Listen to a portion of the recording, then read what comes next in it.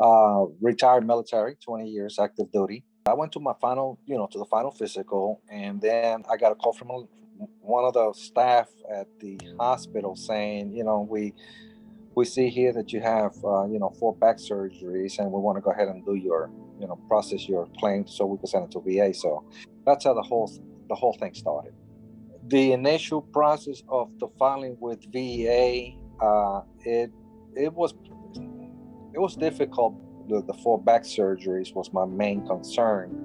You know, I had put in that I suffered from insomnia, and back then, back in '97, they didn't have sleep apnea test, so that kind of got uh, washed under under the bridge. And I had complained about my right knee, you know, kind of popping on me, and that got nowhere. So VA rated me just on the four back surgeries. Uh, and I finally, you know, I, I, called my VA doctor and I said, any chance you could recommend me for, you know, you could refer me for a sleep apnea test. And uh, she asked me why, and I told her, you know, I'm, I'm, I'm just not getting any sleep, you know, good sleep. Uh, I'm, I'm, snoring a lot, shortness of breath. My wife complains that I sometimes stop breathing. And uh, I wanted just to have that checked out and, and see, you know, what they could do, if anything.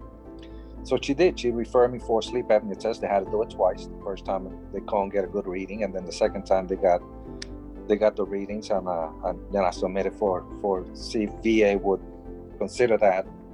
Or oh, the first time I, I went through a VA counselor down here, you know, a Department of VA counselor, and he did the paperwork.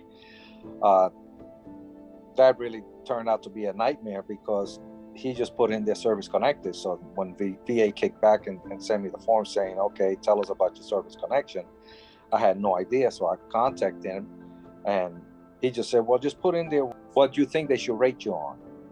And so I had no idea. And I said, no, I'm not gonna, I'm not gonna waste my time. I'll just contact the Berry Law Firm. They were the ones that helped me with the appeals. Well, they put me in contact with the Stafford boss, uh, Seth chambers and uh, they contacted me. They did all the paperwork. They sent me the paperwork to take to my doctor uh, to complete. Uh, and they guided me along the path all the way through. They kept me informed on what the status of the, the appeals was, how the appeals works, how they do the ratings. And thank God it came back, and uh, I'm very thankful for for Seth and his, uh, you know, and Berry Law Firm well, they rated me, I was already rated at 50% because of my four back surgeries on my right knee. So they rated me at 50, but the math with VA is, is doesn't add up to 100. It comes up to be 70%. And I was satisfied with that. I was, you know, I mean, the way VA math works is it's uh, you got to have a, a, PhD to figure it out.